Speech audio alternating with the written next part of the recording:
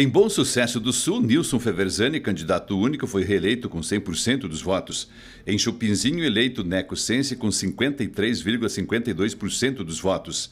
Em Clevelândia, foi eleita Rafaela Lossi com 49,48%. Em Coronel Domingos Soares, Jandir Bandeira com 36,47% dos votos. Em Coronel Vivida, com 55,92% dos votos, foi eleito Anderson Barreto. Em Honório Serpa, Luciano Dias foi reeleito com 44,53% dos votos.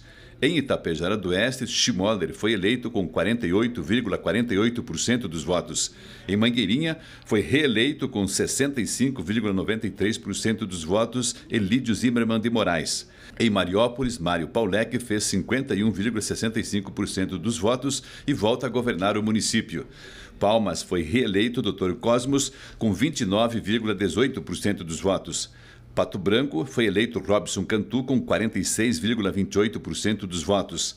Em São João, Clóvis Cucoloto foi eleito com 50,15% dos votos.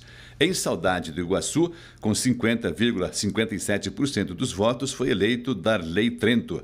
Em Sulina, foi reeleito Paulão com 63,14% dos votos.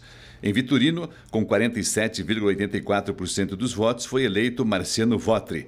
Em São Lourenço do Oeste, Rafael Calef foi reeleito com 78,48% dos votos.